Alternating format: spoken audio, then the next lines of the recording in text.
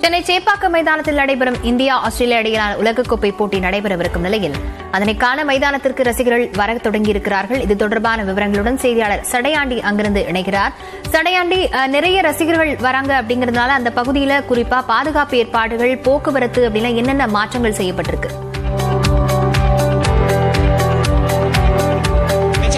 நிச்சயமாக India Australia அணிகள் மோதக்கூடிய உலகக்கோப்பை போட்டியின் முதல் லீக் ஆட்டம் களை கட்ட தொடங்கி இருக்கிறது சென்னை சேப்பாக்கம் மைதானம் ஒரு திருவிழா கோலம் பூண்டிருக்கிறது என்றுதான் சொல்ல வேண்டும். ஆயிரக்கணக்கான ரசிகர்கள் மைதானத்தில் குழுமி இருக்கிறார்கள். சாறை சாறையாக போட்டியை காண்பதற்காக வந்து கொண்டிருக்கிறார்கள். அந்த நேரடி காட்சிகளை தான் தற்பொழுது நான் பார்த்துக் கொண்டிருக்கிறோம். சரியாக பனிரெண்டு மணியிலிருந்து மைதானத்திற்குள்ளே ரசிகர்கள் அனுமதிக்கப்படுகிறார்கள்.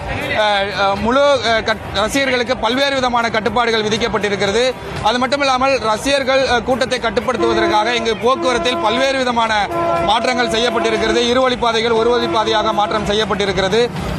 மைதானத்திற்குள்ளே வரக்கூடிய ரசிகர்கள் முழுமையாக சோதனைக்கு உட்படுத்தப்படுகிறார்கள். எந்த விதமான எலக்ட்ரானிக் பொருட்கள் எதுவும் உடுத்து- எடுத்து உள்ளே வரக்கூடாது. உணவுப் பொருட்கள் தண்ணீர் பாட்டில் உள்ளிட்ட எதுவுமே உள்ளே எடுத்து வரக்கூடாது என்ற கட்டுப்பாடுகள் விதிக்கப்பட்டிருக்கிறது.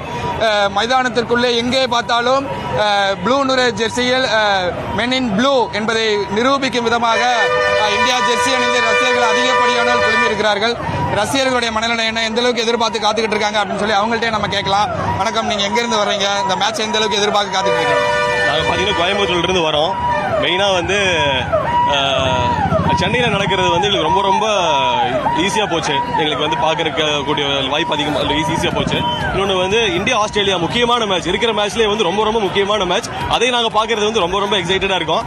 மெயினாக வந்து இந்த இந்த வேர்ல்டு கப்பில் தலையை நாங்கள் ரொம்ப மிஸ் பண்ணுறோம் இருந்தாலும் பரவாயில்ல எக்ஸ்பீரியன்ஸ் பிளேயர்ஸ் அஸ்வின் இருக்கா அப்படி ரோஹித் இருக்காங்க. அது மாதிரி விராட் கோலி இருக்காங்க. ஸோ அவங்கள முழுக்க முழுக்க நம்பி இந்த வேர்ல்டு கப்பை டூ தௌசண்ட் லெவனுக்கு அப்புறம் விராட் கோலிக்காகவும் ரோஹித் சர்மாக்காகவும் மெயினாக அஸ்வினுக்காகவும் இந்த வேர்ல்டு கப்பை கண்டிப்பாக நம்ம இந்தியா ஜெயிக்கிறோம். கண்டிப்பாக ஜெயிச்சே ஆகிறோன்றது நம்ம அது- அதில் முழு இதாக இருக்கு. நிச்சயமா. சும்மன் கில் டெங்குவால் பாதிக்கப்பட்டிருக்காரு. அவருக்கு பதிலா இஷான் கிஷன் ரீப்ளேஸ் பண்ணுறாங்க ஓப்பனிங் ஸ்லாட்டில் ஸோ அந்த சும்மன் கில்லை நீங்கள் மிஸ் பண்ணுறீங்களா ஆக்சுவலாக கண்டிப்பாக ஏன்னா வந்து ஷீகர் தவானுக்கு அப்புறம் ஒரு ஓப்பனிங் பேட்ஸ்மேன் வந்து நம்ம யார் வருவாங்கன்னு இது ரொம்ப எதிர்பார்த்துட்டு இருந்தோம். சுமன் கில் வந்து அந்த ஒரு பிளேஸை வந்து அருமையாக நிரூபி நிரூபிக்கிறாரு. ஏதோ அன்ஃபார்ச்சுனேட்லி டெங்கு வந்திருக்குது. மேபி இது ஸ்டார்டிங் ஸ்டேஜுங்கிறங்காட்டி தெரியாது. போக போக எப்படி இருந்தாலும் ஒரு மேட்ச் ரெண்டு மேட்ச்சுக்கு அப்புறம் வந்துடுவார் இஷான் கிஷன் நல்ல பிளேயர் தான். மேபி அவர் வந்து அவர் ரீப்ளேஸ் பண்ணுவார். அது போக அது கூடவே நிறைய நல்ல பிளேயர்ஸில் இருக்காங்க. பேட்டிங் வைஸ் வந்து இந்தியன் டீம் வந்து ஸ்ட்ராங் ஏன்னா டெய்ல் எண்ட் வரைக்குமே நல்லா விளையாடுற பேட்ஸ்மேன்ஸ் எல்லாம் இருக்காங்க. அதனால சுமன் கில் கண்டிப்பாக மிஸ் பண்ணுவோம் ஏன்னா அவ்வளோ பிளேயர் பட் ஓகே வேற வழி இல்லை. நிச்சயமா. Come- ஃபாஸ்ட் பவுலர்ஸ் இந்தியன் டீம்ல எந்த அளவுக்கு ஸ்ட்ராங்கா இருக்காங்க? ஆஸ்திரேலியன் டீமை கம்பேர் பண்றப்ப அஹ், அதே மாதிரி ஸ்பின்னுக்கு சாதகமான பிச்சு நம்ம சேப்பாக்கம் மைதானம். நம்மளதுல மும்மூர்த்திகள் இருக்காங்க. ஸ்பின்ல குல்தீப் யாதவ் அஸ்வின் ஜட்டு. ஸோ பவுலிங்ல நம்ம நம்ம காம்பினேஷன் எப்படி இருக்கு? Fast and spin combination so இந்த ட்ராக் வந்து முழுக்க முழுக்க ஸ்பின்னர் ஸ்பின்னர்ஸ்க்கு ஒத்துழைக்கக்கூடிய ட்ராக் தான். ஸோ ஆல்ரெடி நீங்கள் சொன்ன மாதிரி மூணு பேர் தான். ஜட்டு அஸ்வின் குல்தீப். கண்டிப்பாக வந்து Jaddu Ashwin home ground so they are going to rock today அதே மாதிரி அவங்களுடைய ஸ்பின் அட்டாக் இருக்கு. இருந்தாலும் நம்மள வந்து நம்பர் ஒன் ஓடிய போல சிராஜ் அதே மாதிரி பூம்ரா சாமி எல்லாருமே இருக்காங்க. அவங்களே கமின் ஸ்டாக் எல்லாருமே இருக்காங்க. பட் கம்பேரிங் டு தேம் நம்ம வந்து ஒரு ஒரு படி மேலே தான் இருக்கோம். அதனால இன்னைக்கு வந்து நம்ம bowling attack we will be eagerly waiting for the trio spin attack and Bumrah as well as Shami நிச்சயமா. நீங்க ஆஸ்திரேலியா எந்த அளவுக்கு ஸ்ட்ராங்கா இருக்காங்கன்னு ஃபீல் பண்றீங்க கம்பேர் டு இந்தியா? ஆஸ்திரேலியா வந்து இந்தியாவை விட கொஞ்சம் ஸ்ட்ராங் தான். ஏன்னா அங்கே பேட்ஸ்மேன் பவுலர் ஜாஸ்தி. பட் நம்மளோட ஹோம் கிரவுண்ட் அட்வான்டேஜ் இருக்கு. ஸோ அதனால இந்த சான்ஸ் வந்து இந்தியாவுக்கு தான் அதிகம். ஸோ நாங்கள் வின் பண்ணுறதுக்கு ரொம்ப தூரத்துல வந்திருக்கோம். எதுக்காகனா விரோத் கோலியோட பேட்டிங் பார்க்கறக்கு அந்த ஸ்மாஷ் ஃபோர் சிக்ஸ் பார்க்குற மட்டும்தான் இங்கே வந்திருக்கோம். கண்டிப்பாக இந்தியா ஜெயிக்கும்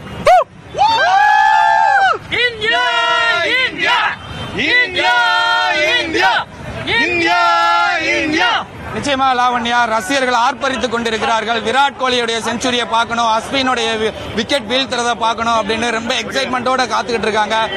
சென்னை மட்டும் இல்ல தமிழ்நாடு முழுவதிலும் இருந்து எங்க ரசிகர் வந்திருக்கக்கூடிய காட்சிகளை பார்க்க முடிகிறது ஏன் இந்தியா முழுவதிலுமே வந்து நிறைய ரசிகர்கள் இங்க கூட்டிகிட்டு இருக்காங்க. ஐம்பதாயிரத்திற்கும் மேற்பட்ட ரசிகர்கள் சென்னை சேப்பாக்கத்தை நோக்கி வந்து கொண்டிருக்கிறார்கள். ஒரு திருவிழா கோலம் தான் இங்க இருக்கு அப்படின்னு சொல்லலாம் லாவண்யா. அந்த அளவுக்கு அஹ், களகட்டுது எங்க சேப்பாக்கம் மைதானம். போட்டியை காண அங்கு மைதானத்துக்கு முன்பாக ரசிகர்கள் ஆர்வத்துடன் காத்திருக்கிறார்கள். விவரங்களுக்கு நன்றி சடையாண்டி.